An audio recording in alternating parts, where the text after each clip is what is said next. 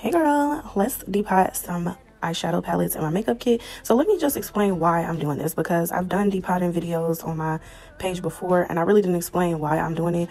My makeup kit over the years has gotten extremely, extremely heavy and it is hard to carry. So what I'm doing is I'm condensing that down. So eventually over time, you'll see that I took like six different palettes and condensed them down into two palettes this is known as depotting. so I'm just taking these out of their original cases and putting them in one palette.